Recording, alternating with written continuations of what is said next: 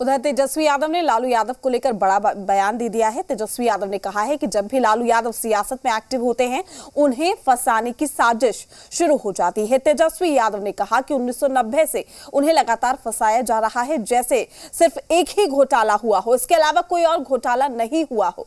तेजस्वी यादव ने यह बयान वैशाली के बिंदुपुर प्रखंड में दिया, जहाँ वो एक निजी कार्यक्रम में शामिल होने के लिए पहुँचे थे।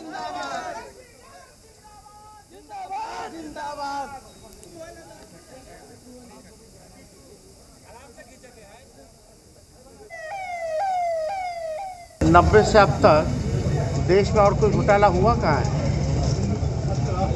जब से देश को आज़ादी मिली और नब्बे से अब तक लालू जी को लगातार जो है बलि का बकरा बनाया जा सब लोग जान रहे हैं।